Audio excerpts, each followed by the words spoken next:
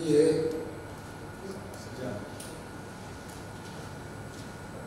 Ya Vichambe, waheshimiwa waalikwa,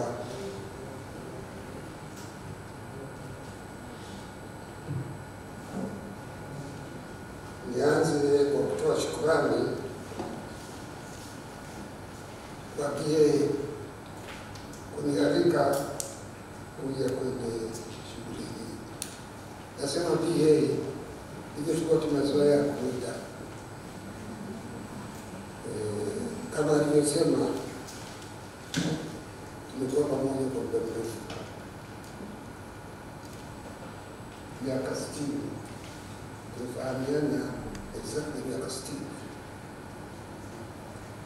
Tulikutana Tabora School mwaka sitini na moja high school.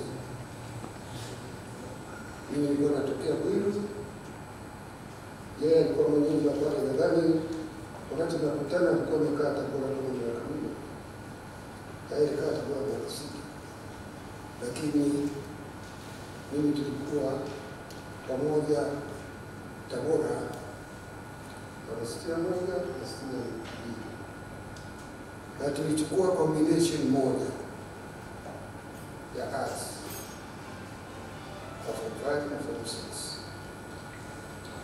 Tumetoka Tabora mwisho wa sitini na mbili tumekuja Dar es Salaam tukajiunga katika project,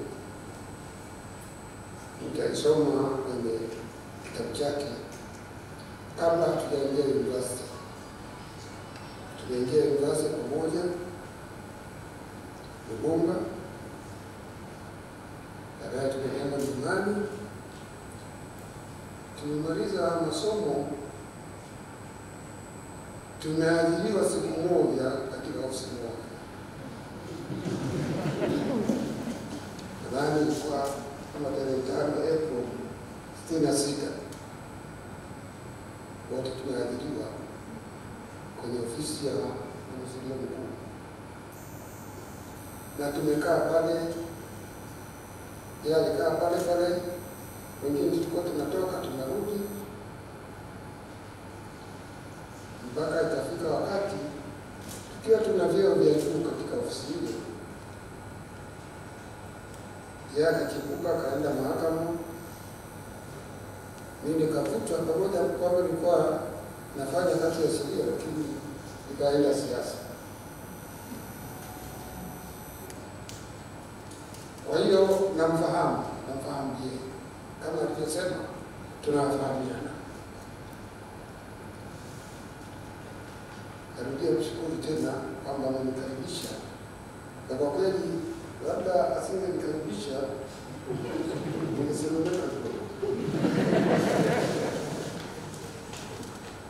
Sasa leo nimekuja hapa, nilijua kwamba kazi yangu itakuwa kuzindua kitabu hiki bila maneno, kwamba wengine wangesema maneno kisha wananikaribisha kuzindua kitabu, lakini nilipoona problem nikaona nimepewa nafasi ya kuzungumza.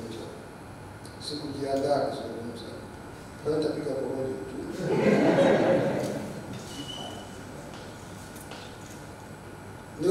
Waliomsaidia yeye kuandika hiki kitabu na wale ambao wamekichapisha. Ellen na Chris wanasaidia sana. Chris wao kwa pamoja wameandika vitabu vingapi, lakini wanasaidia watu wengine. Ndio mimi hawa wamenisaidia sana. Nisingekuwa na uvivu, kuna kitabu kimetoka. Maana walikusanya maandiko mengi ya kwangu kuhusu na wakatengeneza kabisa kwamba inafaa kitoke kitabu, wakaniletea, wanataka nifanye kazi ya mwisho. Sasa sijui miaka mingapi bado. Lakini nadhani hii itanipa motisha niweze kufaidi na msaada wao. Tunakuwa vivu. Nisikuwa mara nyingi tu. Na watu mbalimbali, pamoja na kuzukua mabachu kuweka on record mambo fulani fulani. Na Shukuru umetufungulia mlango tujaribu kufanya. Sasa ningesema nini juu ya function ya leo? Nadhani nimzungumzie pia. Ukisoma kitabu hiki mtakuwa mnaona sura mbalimbali za BA. Maana yeye ni kama tembo tu. Hakika kipofu akishika sikio anasema huyu ndiye tembo. Akishika mkonga anasema huyu ndiye tembo. BA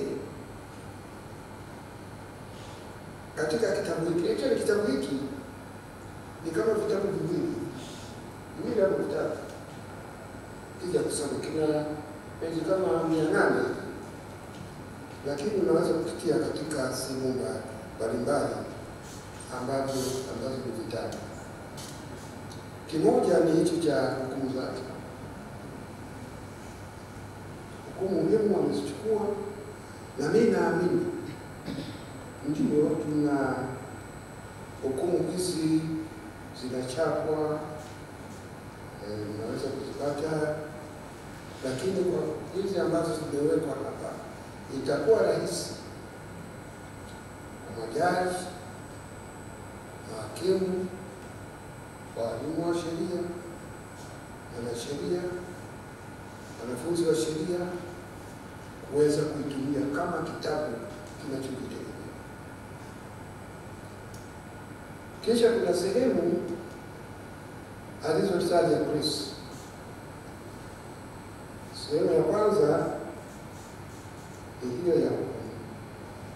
Sehemu ya pili na ya tatu, hukumu zinamwosha Jaji samaki, lakini sehemu ya pili na ya tatu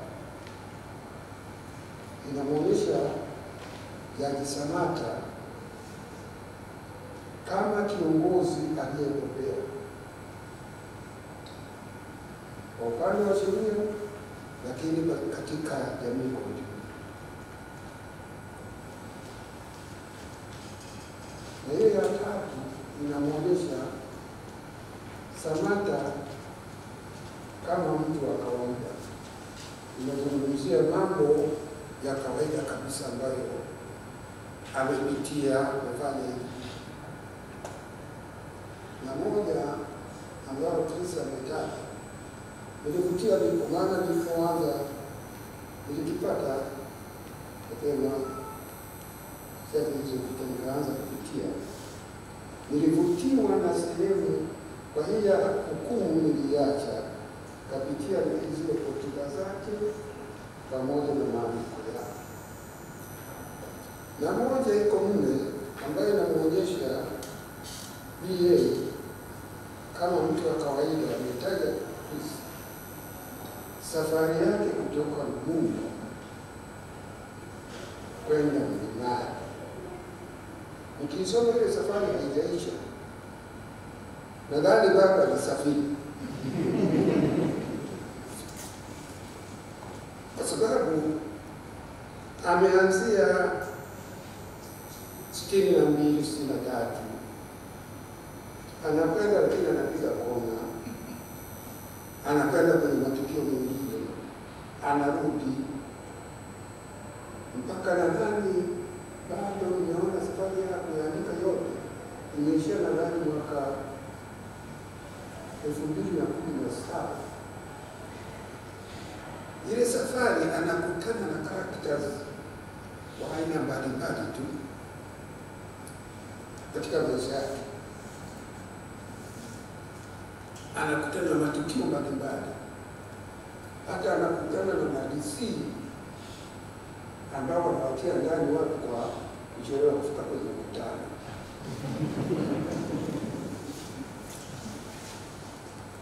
Inamwonyesha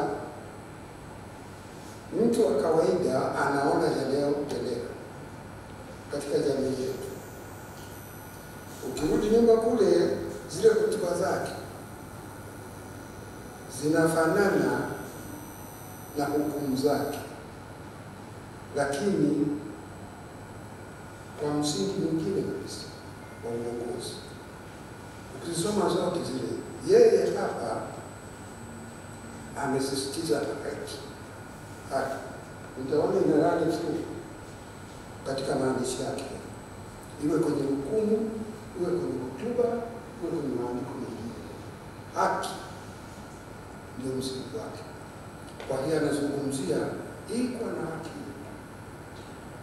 Lazima tuwe na utawala wa kisheria. Sheria throughout nisema ni lazima tuwe na utawala bora, ni lazima tuwe na maadili. Utakuta ndio darani tu katika kitabu chake, na huyo ndiye Samata, sio maandiko, ni maisha yake. Ndivyo alivyoishi Samata, mtu ambaye anajali haki na kita katika utendaji wake anataka tuwe na utawala wa sheria, tuwe na utawala bora, tuwe na demokrasi. Mi nadhani kikubwa zaidi ambacho huwezi kupata katika kitabu hiki ni Samata mwenyewe. Ilikuwa vizuri mtu akaandika kitabu juu ya Samata. Najua maprofesa Shiji Majamba waliandika ya Samata, na yale niliyosema katika kitabu chetu ndiyo bado nayaamini. Tunayo matatizo katika jamii yetu na hasa juu ya maadili. Tunazungumzia sana juu ya maadili, na kila wakati viongozi wanatukumbusha tuwe na maadili, lakini maadili kusema tu. Hakuleti maadili, Nataka kuonyesha kwa vitendo. Wakati niko nilipokuwa mwenyekiti wa tume ya kero ya rushwa, nilipata nafasi ya kuwasikiliza wananchi. Wengi tu. Wanaona hali Mmoja akasema, kwenye mahakama kuna sheria, hakuna haki. Mahakamani hakuna haki na sheria. Sasa ukienda mahakamani. Utawasikia wanasema section section section, basi. Anasema sasa, kwa sababu ya section section, na sisi tunajifunza ya a mfukuni kwetu.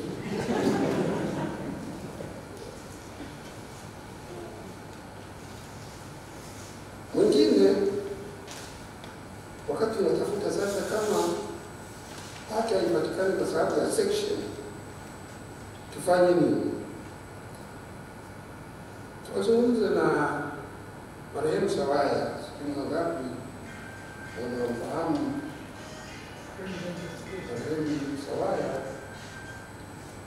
Sawaya alikuwa ni polisi ofisa alipata kuwa DCI na ndiye HR alikuwa mkurugenzi wa kwanza TAKUKURU ilipoanzishwa. Tulipomuuliza tutafanyaje, na tunamwambia sasa, siku hizi hata polisi imekuwa mbaya, akasema hakuna polisi wa kawaida aliye mbaya, wala hakuna raia wa kawaida ambaye ni mbaya wabaya ni viongozi. Sasa ukipata viongozi wazuri katika polisi, utakuwa na matatizo ya rushwa. Ukipata viongozi wazuri katika jamii, utakuwa na matatizo ya maadili. Lakini viongozi tunazungumzia sana kuporomoka kwa maadili, unataka yarudi kwa maneno, sio kwa vitendo. Kama tungeonyesha kwa vitendo haya matatizo tuliyashughulikia, na ndio nasema BA amekusanya yeye katika kitabu hiki, na Kristo ametueleza eh, nini kimo. Sasa mkikisoma ulinganishe na yule aliyekiandika.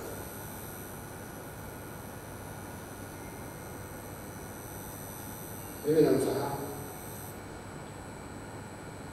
naweza kusema katika nchi yetu, katika maisha yangu nimewafahamu wachache wenye integrity ambayo huwezi kuposti tabia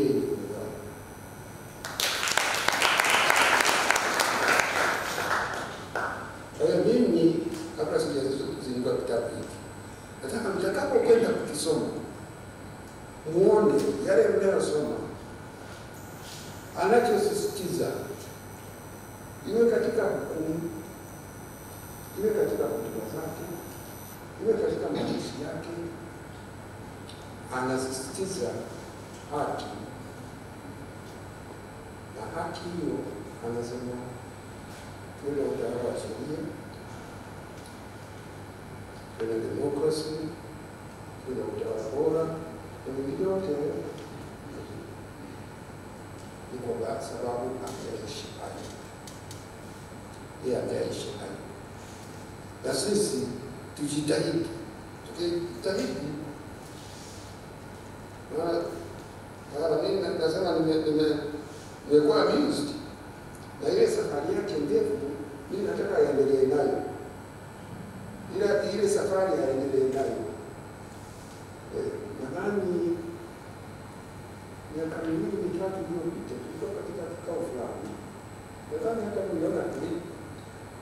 not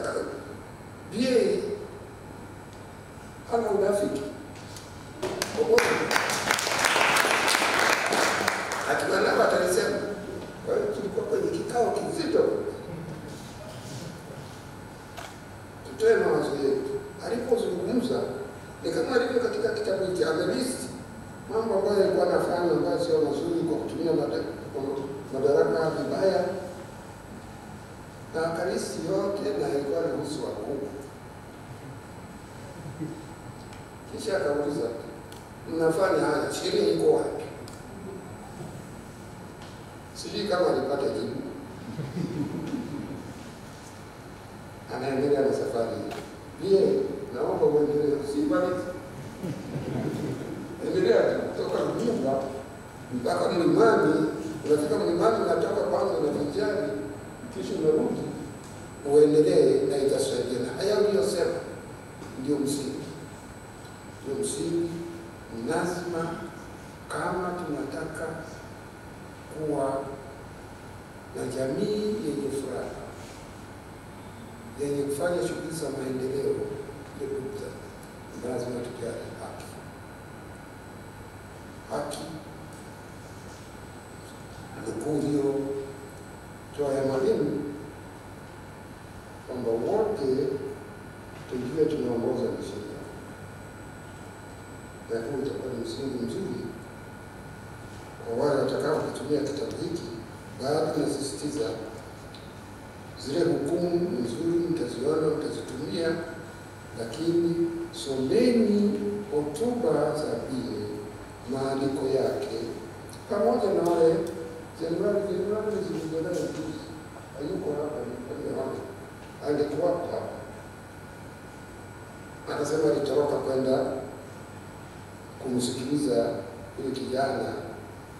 Anaona serious, lakini wakati wote, wakati akiwa mwanasheria wa serikali, akiwa DPP hakuwa anataka ajulikane kwa kupata convictions nyingi, a- alitaka haki itendeke, watu haki haki itendeke. Siku hizi naona watu wanahangaika tu, wanasema kama mafanikio ni kesi nga- ngapi wameshinda mahakamani, hawasemi kama haki inatendeka mahakamani.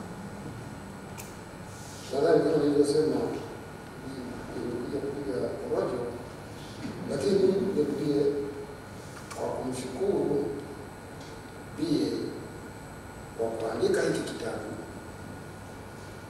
kwa kunikaribisha niliyoshirikiana naye kuzindua. Niwashukuru Helen na Chris, mwendelee kusaidia wengine ili nao wafanye kazi kama hii, ili tuweze kuacha rekodi kwa hao watakaofuata. Na publishers, mwendelee pamoja na kuchapisha, mjaribu kuweza kukipromoti kitabu hiki kiwafikie wengi, kiweze kuwasaidia. Baada ya kusema hayo, sasa iko tayari kuzindua kitabu ambacho ambayo ndio shughuli iliyotuleta. Kwa elimu hizi na mengine mengi, usisahau kutembelea katika kurasa zetu za Facebook, Twitter, Instagram pamoja na YouTube channel. Wakili TV, kitovu cha sheria.